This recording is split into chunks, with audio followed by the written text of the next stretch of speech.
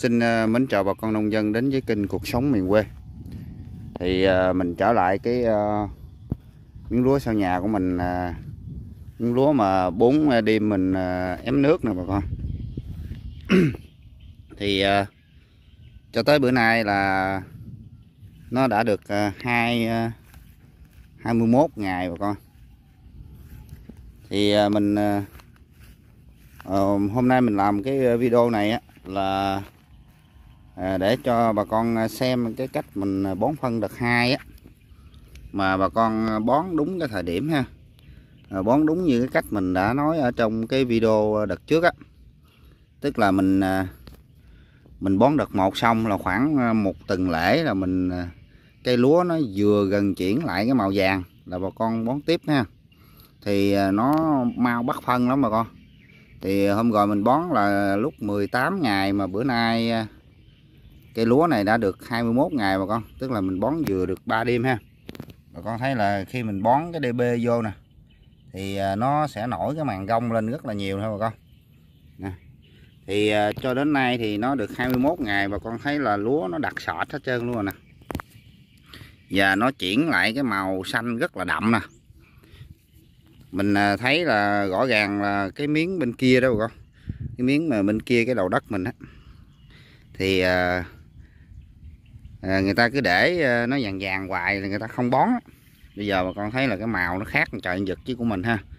Của mình thì à, vừa bón xong là 7 đêm tức là nó sắp sửa hết cái phân đợt 1 á. Thì cái đợt 1 mình bón 10 kg đó với humic đó bà con. Thì mình đã chia sẻ rồi. Thì ờ, bữa nay mình mình bón kết quả là 3 đêm thì bà con thấy là nó chuyển lại cái màu xanh rất là nhanh ha. Mà cái vụ cái khúc này là cái khúc đầu vườn mà con thấy bữa trước là nó cũng hơi vàng vàng nè.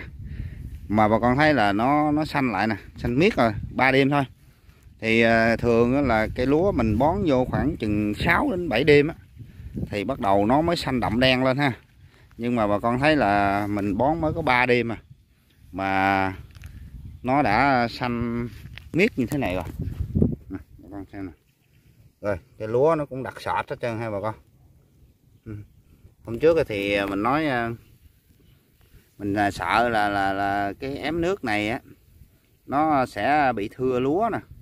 Bà con thấy đâu có thưa gì đâu ha. Thì mình xạ 16 kg mà tới, tới bây giờ bà con thấy là nó nó bắt đầu nó nó đẻ chồi rất là nhiều rồi nè. Cái chỗ này dày nó không đẻ mấy cái chỗ thưa thưa đằng kia bà con thấy nó đẻ nhóc ra trơn à thì ờ, trong cái ờ, giai đoạn này bà con thấy là mỗi ngày ờ, mình ra thăm là lúa nó ngày mỗi khác ha. Thì bây giờ nước đó cũng đã dơi cạn bớt rồi nè. Thì từ cái lúc mà bữa mình bơm vô mình bón phân đợt hai cho tới bây giờ thì cách 4 ngày, tức là từ bữa bơm nước bơm nước sau một ngày thì mình mới bắt đầu bón phân cho nước nó ổn định lại rồi con. Thì con thấy là bây giờ nó nó xanh lặt lìa, lọp đầu hết trơn luôn ha thì à, cũng giống như là cái mùa đông sưng luôn á, chứ không phải là hè thu đâu. Thì cho đến cái giai đoạn này thì mình mới có tốn là 25 kg phân thôi, mà bà con thấy là lúa nó bít hết rồi thì cái này tối đa là, mà tới đón đồng là, tối đa nữa là mình bón khoảng à, 15 kg nữa thôi. Tại vì cái vụ hè thu không phải như cái vụ đông sưng, mà mình bón đón đồng nhiều. Thì mình bón 15 kg nữa thì có thể là nó một công 1.300 mét vuông thì à, suốt vụ luôn. Có thể là 40 kg phân là à, mình vẫn đảm bảo được cái ờ, cái năng suất này bà con? Thì à, nó miết xanh như thế này mà bây giờ lọt qua là 21 ngày rồi.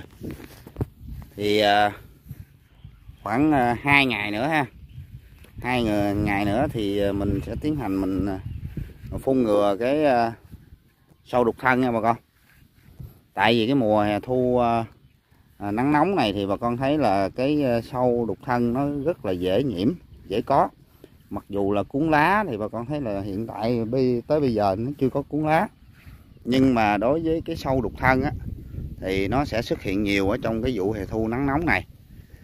Thì để quản lý tốt cái sâu đục thân thì bà con nên xịt sớm từ lối khoảng 25 ngày đổ lại.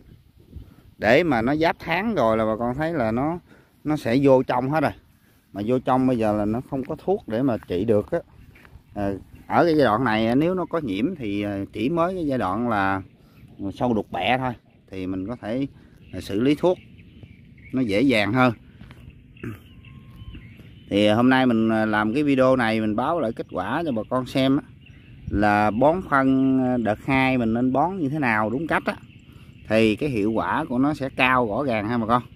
Mình quay lại kết quả để chứng minh cho bà con thấy cái cái, cái vấn đề là mình bón liên tục á giữa cái đợt 2 đợt 1 thì cách nhau khoảng từ 6 7 ngày thôi 8 ngày đổ lại.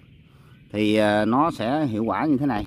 Còn bà con cứ để vàng lại, nó chai cây lúa, rồi mình trồng gầm, mình gãi mà. Nếu mà lúa thiệt là vàng bà con thấy là gãi vô ba đêm là nó không bao giờ nó xanh được như vậy đâu bà con. Nó không xanh đâu. Nó sẽ vừa chuyển nhà nhà lại mà đến khoảng 6 7 đêm thì bắt đầu nó mới miết xanh. Thì cái cây lúa có lúc đó của mình là nó khoảng gần 25 26 ngày rồi. 25 6 ngày thì bà con thấy là cái chồi nào nó đẻ được thì nó đẻ rồi. Mà không đẻ được thì coi như cái giai đoạn nó cũng không có còn hữu hiệu nữa. Tại vì mình bón sớm á, là mục đích là để làm cho cái chồi nó đẻ sớm. Để sớm rồi mình bón đợt hai sớm nữa thì đủ cái dinh dưỡng để nó nuôi tiếp tục cái chồi cho nó phát triển luôn. Nè, bây giờ bà con thấy là à, buổi trưa mà bà con thấy là nó nó quặt đọt như thế này cho ha thì à, rõ ràng là cây lúa của mình nó nó phát rất là dữ. Còn nếu mà bà con mà thấy nó, nó dắt trưa này mà lá nó đứng đứng thì nó không phát triển đâu. Rồi sau đó là mai mốt mình xử lý cái hoạt chất bắt lo butazon vô một cái nữa. Thì nó lúa giáp tháng nó sẽ dựng cái lá đứng lên. Thì lúc đó là cái à, sâu bệnh nó sẽ hạn chế rồi. Còn cái giai đoạn này bà con buộc phải cho lá nó nằm. Tại vì nó à, cái giai đoạn này là giai đoạn nhỏ thì buộc phải tốt rồi tốt mà phải phải lá nó hơi nằm ha bà con. Chứ không phải là mình nói là là, là gãy UG nhiều mà lá nó nằm đâu. Tại vì cái giai đoạn này thì nó chưa có đứng được. Đến cái giai đoạn khoảng giáp tháng á thì khoảng chừng tuần nữa bà con thấy là nó đứng lá lên hết rồi ha.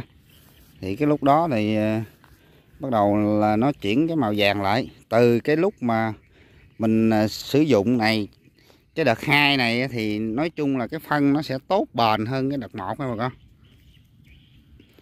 đợt một ví dụ một tuần lễ nó hết phân nhưng mà đợt hai này có thể là 10 ngày 12 ngày nó mới có có thể là giảm uh, chuyển qua cái màu vàng. Thì uh, nếu cỡ 12 ngày á thì nó sẽ rơi vào khoảng uh, lúa giáp tháng rồi. Giáp tháng thì nó nó nó chuyển dạng lại là vừa khoảng 10 ngày sau mình uh, bón phân đón đồng luôn được ha bà con. Cho nên là hè thu là so với cái đông sưng á thì mình phải có một cách làm cho nó khác một chút thì nó mới ờ, hiệu quả được ha bà con. Thì bà con thấy nè, nguyên cái miếng lúa mình ha, thì nó xanh miết như thế này nè. Thì cái hiệu quả của ờ, của của cái cách bón phân ờ, đợt hai của mình á, bón liên tục đừng để cho nó vàng lại. Đó là những cái điều chia sẻ cho bà con. Thì trong cái vụ hè thu này bà con có thể làm theo cái cách này ha bà con. Thì đó là một cái ý riêng của mình. Còn còn số bà con thì có thể là bón trễ rồi nó cũng được nhưng mà nó không có hiệu quả cao lắm ha bà con thì đó là những cái chia sẻ của mình. Thì bà con thấy ờ, ờ, video hữu ích thì xin cho mình một like.